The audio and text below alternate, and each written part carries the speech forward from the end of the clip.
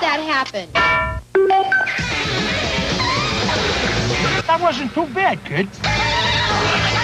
Pretend it's a game.